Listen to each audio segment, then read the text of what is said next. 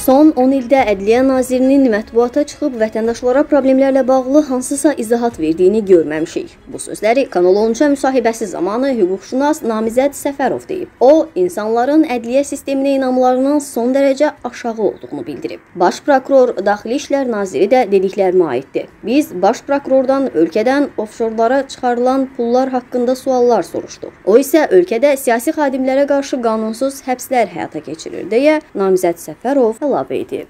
Ədliyyə Naziri 20 il nazir olduğu bir dövrdə bir dəfə də olsun ölkəmizdə baş alıb gedən hüquq sistemində baş alıb gedən özbaşınalıqlar barəsində bir çıxıb cəmaata bir söz deməyib.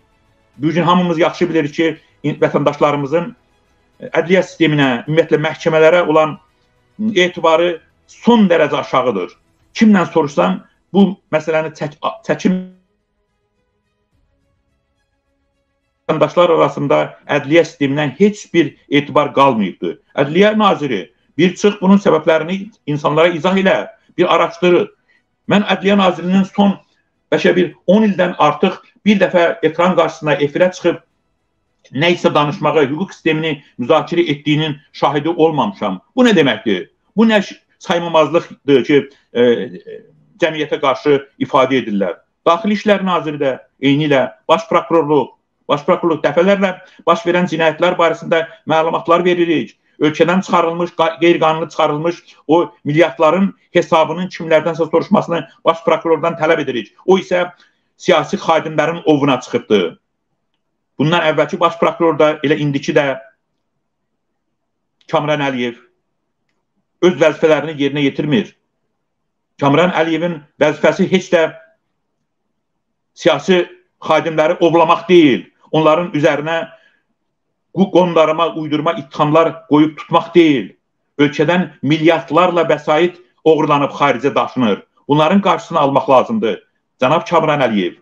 Axı biz bunlar barəsində sizə dəfələrlə gün aşırı, hər gün məlumatlar veririk. Siz nə üçün bu faktlara heç bir reaksiya vermirsiniz? Axı bu sizin bilavasitə borcunuzdur.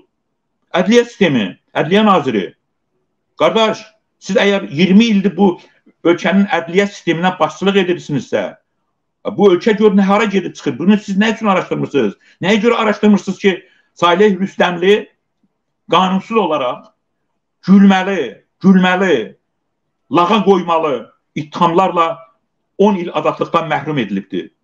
İndi də o öz qanunsuz həbsinə etiraz əlaməti olaraq azlıq aksiyası keçirir. Bilirsiniz ki, azlıq aksiyası keçirilmək qeyri-adi bir etiraz formasıdır. Bu aksiyanı keçirən şəxslər şəxslərdən onun səbəbi soruşulmalıdır. Bütün ölkə ayağa qalxmalıdır. Soruşmalıdır ki, bu şəxs niyə azlıq aksiyası keçirir? Onun tələbi nədir? Nə araşdırmaq lazımdır. Ədliyyə naziri və yaxud da ki, digər orqanlar onunla həbs yerində onunla görüşməlidirlər. Nəyə görə e, Gürcüstanın ədliyyə naziri həbs yerində olan azlıq aksiyası keçirən şəxslə görüşür, onun tələblərini dinləyir. Bizim ə, e, Ədliyyə naziri isə özünə rəva bilmir ki, azlıq 15-16-cı gündür ki, azlıq aksiyası keçirən bir siyasi xadimin getsin dərdini soruşsun. Ona verilən ittihamların bir araşdırsın. Belə şey olar. Nə nə nə vaxta qədər bizim hakimiyyət insanlarımızı siyasi fəaliyyətlə məşğul olan insanları bu və ya başqa uydurma ittihamlarla dama dolduracaqlar. Biz 21-ci əsrdə yaşayırıq. İnsanlar artıq bu özbaşınalıqlardan zinhara gəliblər. Hamı bunu deyir ki, cəmiyyətimiz bir e, barıt çəlləyinə dönübdür. Hər dəqiqə e, bu partlayış baş verə bilər. İnsanlar ayağa qalxa bilərlər. Xaos yarada bilər. Biz bunu görmürük bəyən. Bunların qarşısını almaq vaxtı deyilmi?